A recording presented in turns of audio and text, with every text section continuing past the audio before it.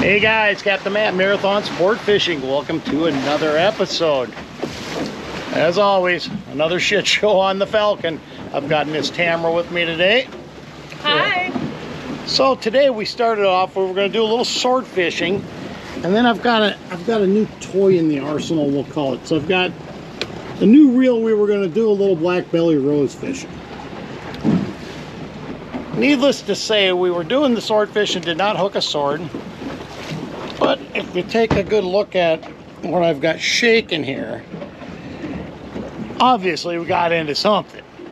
Okay guys, here we go. Welcome to another exciting episode of Marathon Sport Fishing. I am your host, Captain Matt Pelfrey. Grab your life jackets and hang on, it's gonna be a fun one.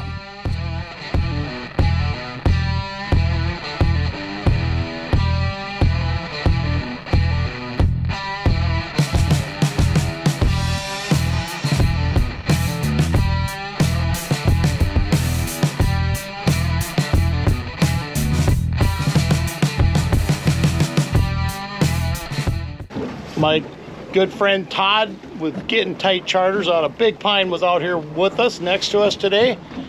And we were just heading to the Rosie Grounds and he radioed said, come on over. And we got into a giant school of mahi, found a log, and we also ended up picking up a nice wahoo on it on a secret tactic that I'll show you guys towards the end of the video. So stay tuned and you'll see how we catch a wahoo amongst a pile of mahi and a bunch of other bar jacks. And all right, guys, we just got a radio call from Getting Tight Charters. He said, come on over. On the sword grounds. We're going to check out what he's got going, if he's hooked up or he's got something going on here.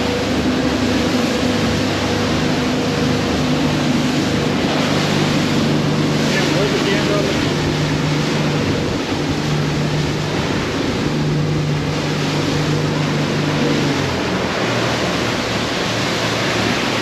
He's on Mahi. He's got Mahi. Oh, he's got a here. He's on, he's on Mahi. Okay. We are in a school Mahi. That's a nice fish. Hand me the gaff. Hand me the gaff. Hand me. Just put it right in this holder. We'll get him up here. It'll take him one second. He's not done yet.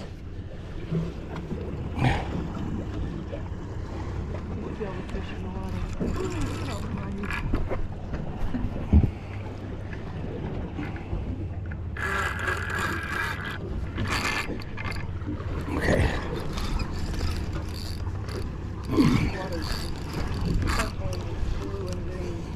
Ah. So get him up here, get the gaff in him. Oops, missed him. Damn it. Hard to do this one-handed. Hard to do it one-handed. All right, let me see if I can get. Ah, come here. Okay. Try this again. There we go. Nice fish. That's a nice mahi. Yep.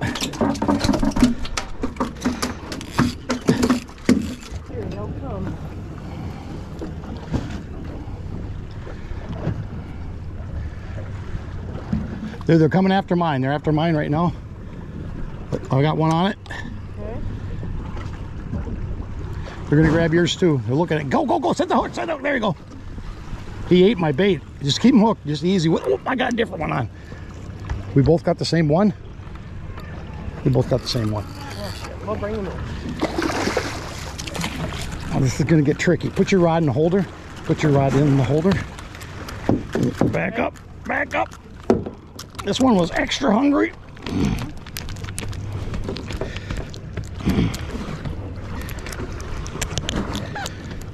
I need the pliers behind me. Okay, guys, this is just real early season for us for Mahi's beginning of just kind of the beginning of the push. Normally on the boat, you see I've got about 18 inch to 20 inch leader there with a hook and a snap swivel. Normally I carry a couple spools of like eight or 10 of those on each spool so I can just unhook them and throw the whole fish in the box with the hook and leader and get it out later. But since we had not been seeing any mahi yet, I did not have them on the vessel. Anyway, a little hint for you guys: keep a spool of those little leaders on on your boat with you. All you got to do is disconnect that snap swivel, and you can quickly change it out. So to, today, I had to actually pull the hooks out of all of them, and they were really hungry. They were swallowing the bait uh, on half of them, so it took me quite a bit longer to get the hooks out than normally would. You got him. You got to keep the rod up and tight, or they get. Stop! Stop! Let him. Okay, let him eat it. Let him eat it. Stop! No, get him. Get, oh, there you go. You can't. Just leave him. Just let him settle down. Let him settle down. Nice. All right. Um. I'm, I need to bring him in the boat, so I don't want to get these two tangled up. I'm coming underneath you. Come over me. Come over me. Come over me. Okay. Here we go.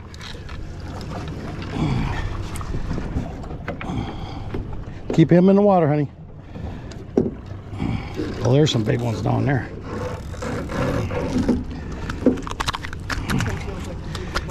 All right, yeah, well, I'll, check him out in a second. Let me get this hook out of this guy. He ain't big enough, but the hook.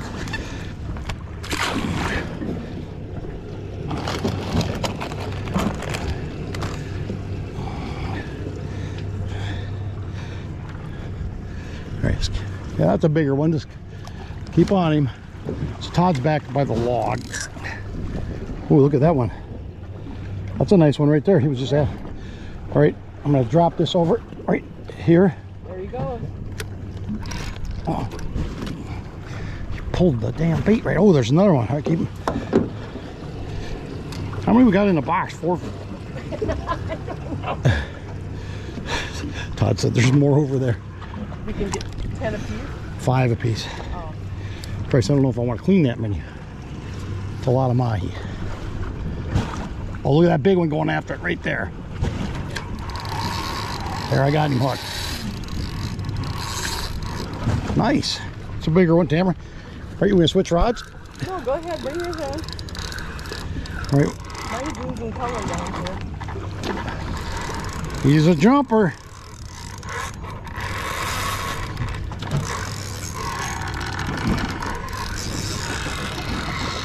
Oh my god, there's tons of them down Yep, it's because you're keeping yours here.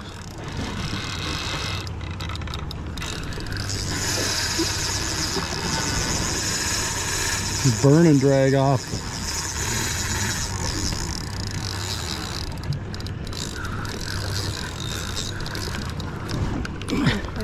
That's fine, that's fine. He, he's fine.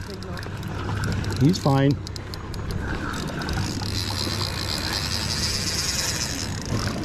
Where's he going?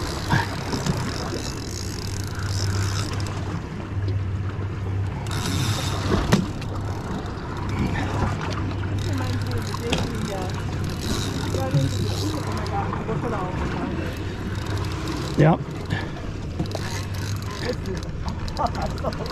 I've never seen fish like this. You did with the, whoa, whoa, whoa, whoa, whoa, pull your rod tip over, pull your rod tip over so you don't get caught in mine.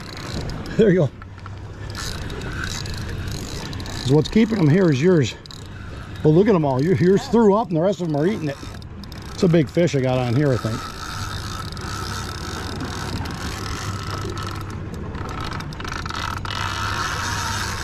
Mine's dogging pretty good here. Just keep him right there. That's just perfect what we want to do with him. This one's a big one. Where's the gaff at? I don't know where the hell it ended up. Oh, right there. Okay. Well, I'm probably going to have to gaff this one. Just stick it right in that holder right next to you on your left side. Keep him in the water. Keep him in the water.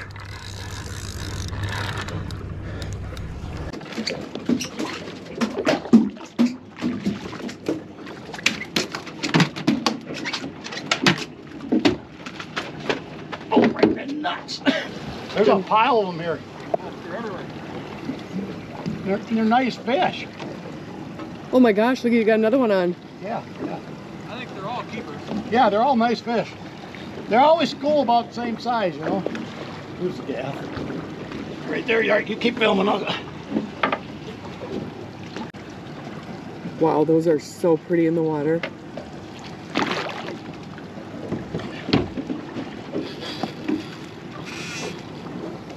Yeah, they're nice fish, Todd. They are. We were just gonna go try and do a little rosy hunting when you. I'd rather catch these. I'm gonna go get some rosies too and then get a swordfish later.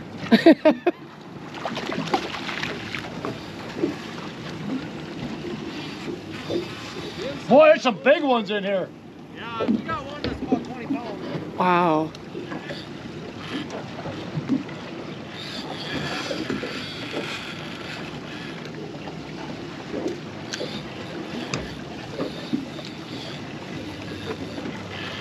Yeah, there's some real big ones in here.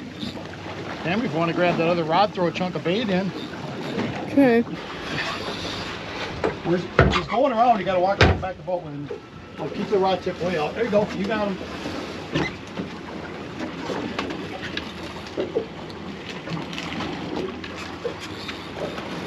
This one is a good size one. Yep. Let me get let me get this out here.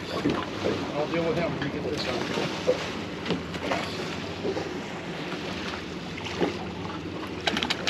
Oh, shit.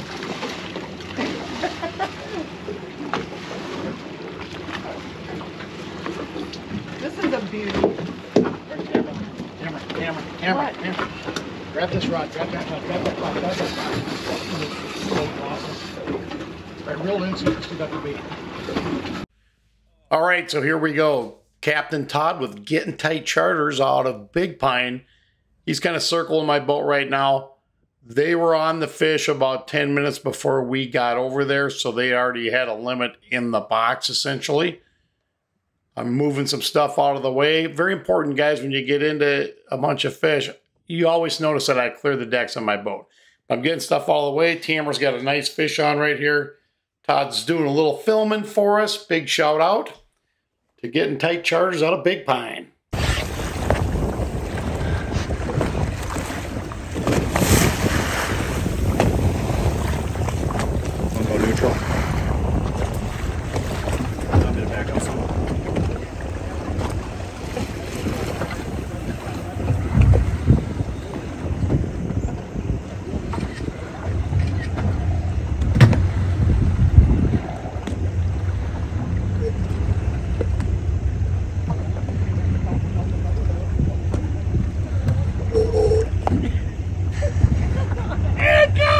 Mahi madness, baby!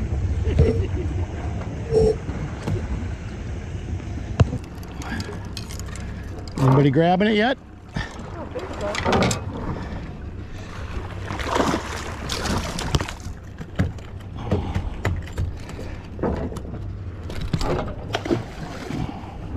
Nothing on it yet? Just keep it keep it in there. He'll get something.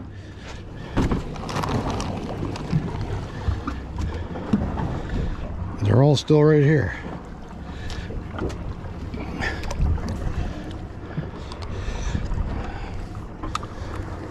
Where's that log at? You see it back there anymore? There's one. Grabbed it. Check your bait, hon. Check your bait. Reel your bait in.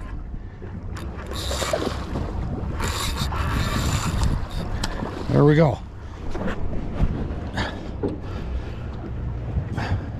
Oh, the baby's gone. Yeah, that's why. Here, grab this rod. Is he still on there, Tamara? Yeah, just keep, yeah, just keep him there. That's 21.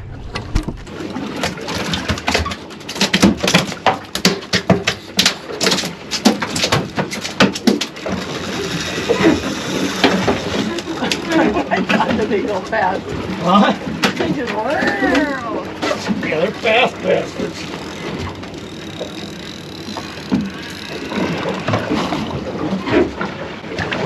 You got yours in? I got one on. Just keep it on. There's a bunch of them over here. I, I'm a little busy right this second. I gotta get the hook out of one of them.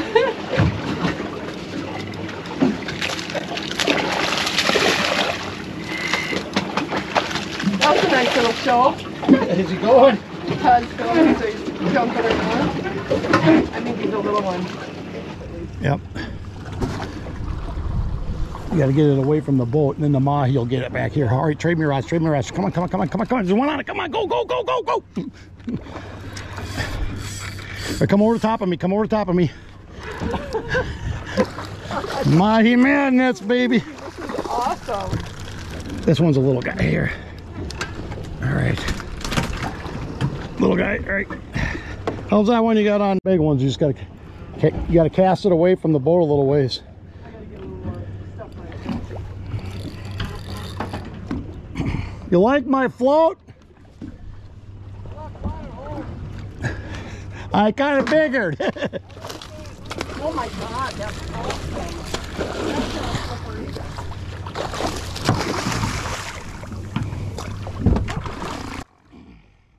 right in the head. Professional.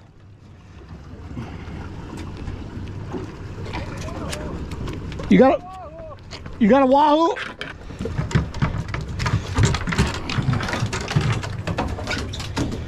You seen a wahoo?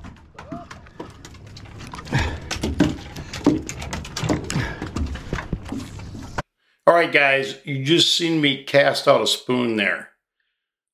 That spoon, it's not a jigging spoon, it's a casting spoon. It's pretty heavy.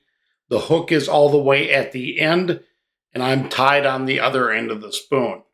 This particular rod is set up with 40 pound braid.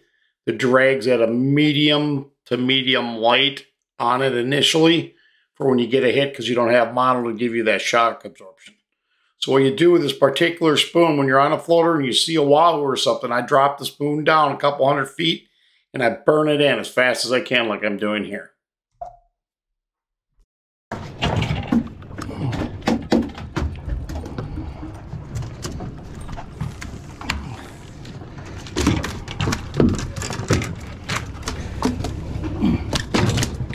Emmer got his own hook out.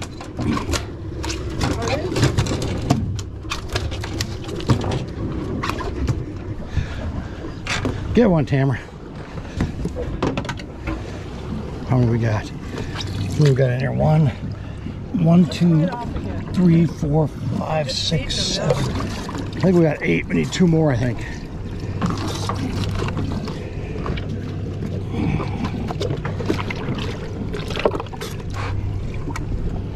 Gonna let him bleed out a minute. Okay. Complete shit show. I'm getting ready here to rig up another bait. If you look in the water, there is mahi as far as you can see.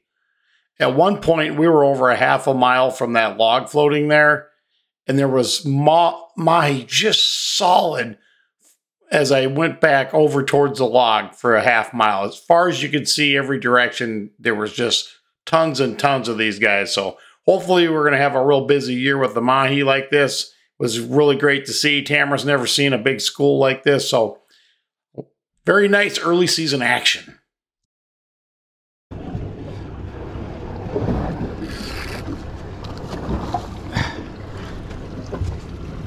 Coming back this way. Okay, All right. of the way. Cast yours, cast yours way up there, Tamara. Whoa. Oh wow, look at that.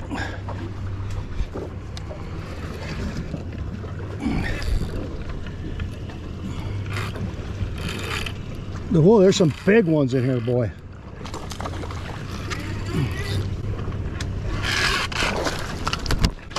That wasn't a flipper either, but he got flipped.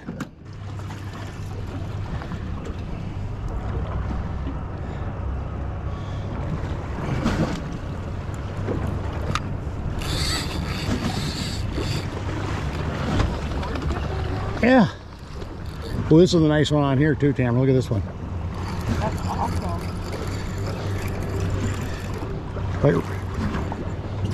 Okay, there you are. Watch, watch, don't, don't roll into the tip. Look at all these. coming. Yeah, I know, they're following mine.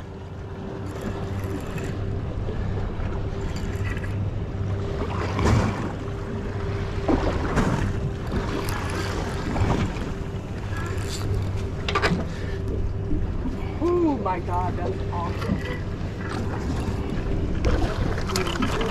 Get him in the boat. All right, this is what happens. Tamara's on second, second rinse down. I think we got a limit in the box right now. We've seen a couple wahoo. We're gonna see if we can pick one of them up too. Yep, we got 10. Nice, hell of a nice limit. Okay, captain's tip here, guys. I just started doing that this year. I've got that plastic ice scoop. Makes it way easier to get your fish buried in your ice bin. For the best eating fish, you definitely want to bleed them out like I've been doing there. Then we've put salt water in with the ice to make an ice brine that rapidly cools them fish off, makes the meat absolutely amazing. Somebody's on there. We had our limit of mahi and I was trying to catch the wahoo here. He would not bite the jig when I would just drop it and reel it up. So what I did was burned out about 250 feet of line on that jig, put the rod in a holder, and full throttled the boat at about 12 knots, and the wahoo hit it.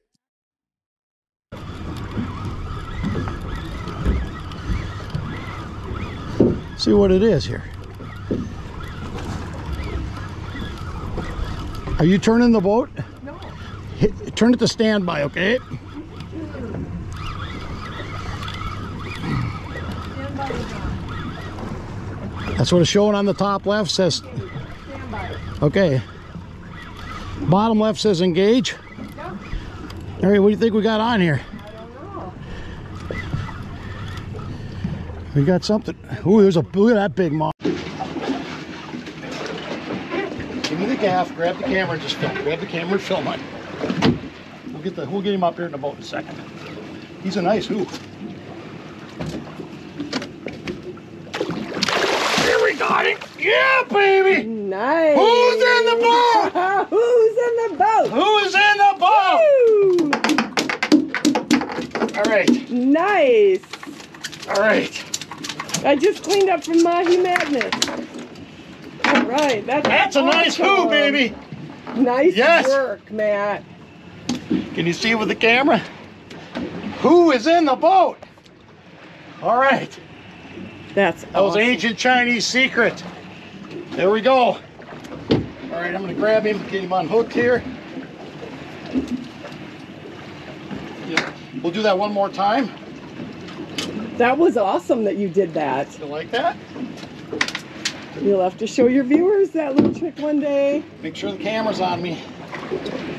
So guys, when you get one of these guys in the boat, you gotta be real careful. They're super, super dangerous. They will try to bite you.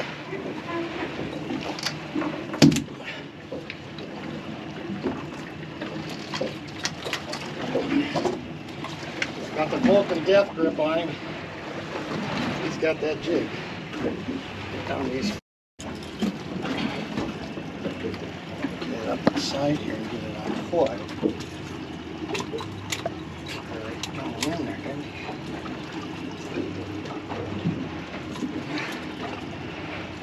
There we go.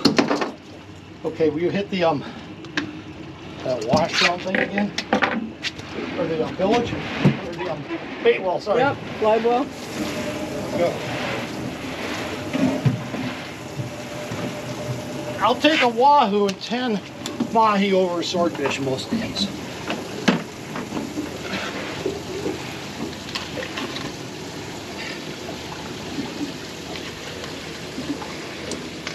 That's his heart that just came flying out.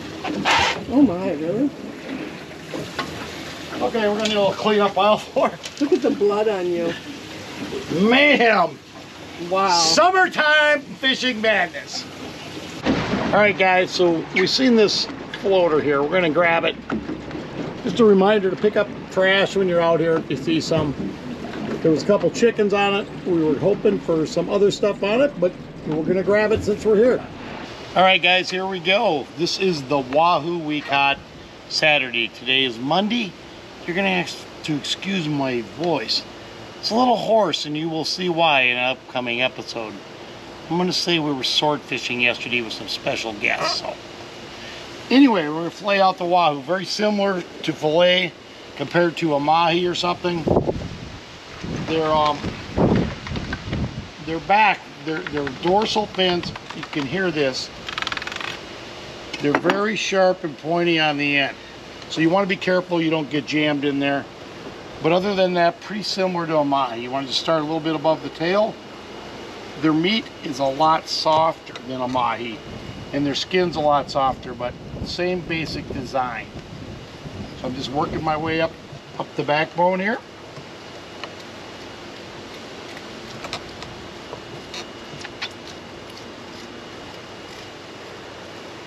Again with these guys them teeth you don't even want to nick the teeth after they're laying here dead you want to be careful of the teeth on the fish.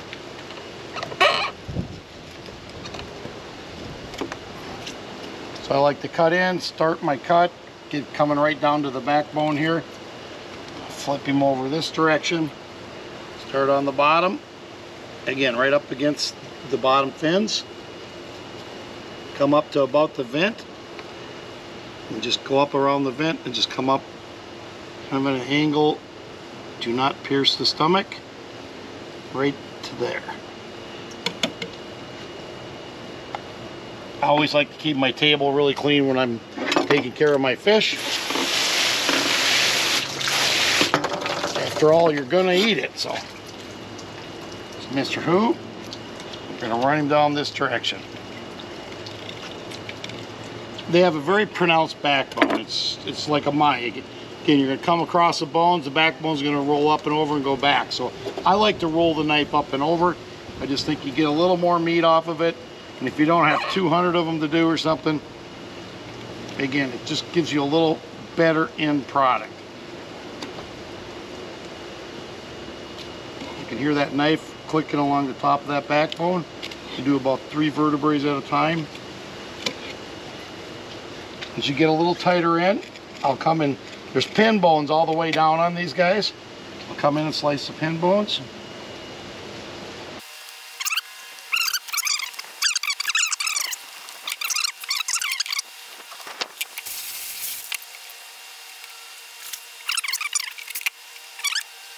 There's different things you can do with a wahoo. I'm gonna smoke this one. I'm gonna show you guys how to smoke a fish. If you haven't done it before, it's pretty easy, so this is what we're gonna do. Be absolutely gorgeous meat on them. So you wanna leave the skin on the meat prior to smoking. What I did before I filleted the fish, I took the hose and just washed him off. They, they have a little layer of like, still a little bit of dirt on them. You want to wash them off really good because you want to smoke them with that skin on. So what I'm going to do is just section him up, clean clean out this section here, and trim out the rib bones, and then we're gonna we're gonna put him on a brine prior to smoking. So.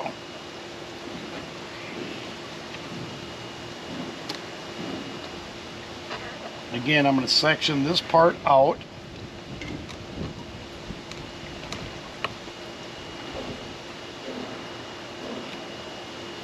There's damaged meat right in the top half here. Prior to smoking your fish, I like to smoke my fish, but I like to put it in a brine for about one day first. So the brine's pretty simple. I'm going to use about a quarter gallon of water, so four cups, an eighth a cup of kosher salt, and an eighth cup of sugar in the rye. So take two cups of water, and you want to boil your you want to boil the salt and sugar in there in two cups of water. Okay, you can see it's all dissolved. Once that's dissolved, you take and add two cups of ice water into that to have your four cups. And then that'll cool the temperature of the water down. You don't want to put the fish in boiling water, obviously. And you want to soak your fish for, I'd say, at least 8 to 12 hours. I typically do it overnight. Then I'll put them on the smoker tomorrow. I've taken and put two cups of ice water in with the first two cups I've dissolved the liquid in. You just want that ice to kind of melt and get everything mixed up. Then I'm going to drop the fish in it and I will marinate that fish for, like I said, I'm going to marinate it overnight and I'll smoke it tomorrow. All right, guys, here we go. I've got the wahoo strained off now. It's It um was in the brine overnight, basically. Just getting ready to put it on the smoker here. I've got the smoker set. It's running 224 right now because I have had the lid open, but it's going to run at 200 degrees. I've cleaned off the top rack. You want to scrub it really good. And I'm going to take a little extra virgin olive oil. If you got spray, that's fine. If you don't, just take regular olive oil. I put it on a paper towel. You want to get your rack nice and oiled up. That way the fish will not stick to it. A little hot, 225 degrees there. Probably hear my fingers sizzling. Nope, it's a, I've got the rack, as you can see, it's nice and oiled up. Next thing, we're gonna load the fish onto the rack. we load the fish skin down. I try to get it on there and not move it. You want to keep it separated. You want it separated out so it gets really good smoke. Got a couple smaller pieces here. There was an apparent gaff shot around them I had to trim out.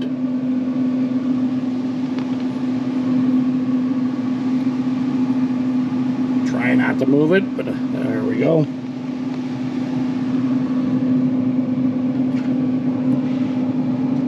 Next thing I'm going to do here is put a little Everglades heat on the fish.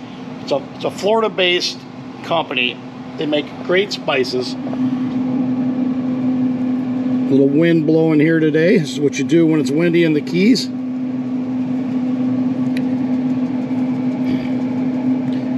So I'm just giving it a real light dusting here. All right, so that fish is dusted. It sat in the brine again all night and it's ready to go. I'm gonna slide the smoker rack back right there where it's centered on the centered in the smoker. That's gonna take a couple hours, guys, and I'll I'll clue back in. We're gonna visually look at it as it gets close to done. You're gonna push down, test the fish. If it still feels a little soft, you know it's not done yet. All right, guys, I've been slowly taking the fish off. As, as you're smoking your fish, you're gonna have pieces that are a little thicker, a little thinner. The thinner ones are gonna get done first. So like right here, here's kind of what I look at. You can tell it's still a little spongy here, just slightly here. That one's done. This one, it's a little bit, I can tell it's just a little soft in the middle. So if it's still a little soft in the middle, that one's probably gonna go about another 15 minutes. But I, I just take them off. And this is why you oil the grill. That's hot.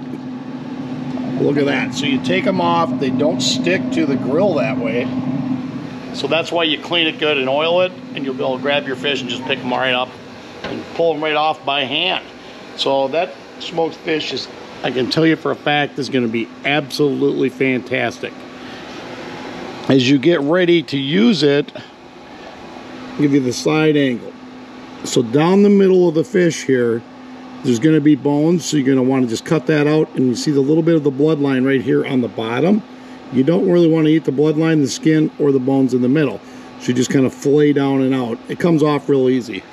So an absolutely fantastic dish. It's great with crackers, cheese, anything on a late afternoon, a glass of wine, or it's the Wahoo itself makes my favorite fish dip on the planet. Hey guys, Captain Matt, thanks for tuning in on today's episode. As you could see, it was an absolute blast. Started off with a goal of doing some sword fishing and then doing a little deep drop and trying out some new equipment, which we never got into. If you haven't had a chance yet, please smash that subscribe button. If you like today's video and like the content, give me a thumbs up. Captain Matt signing off for today.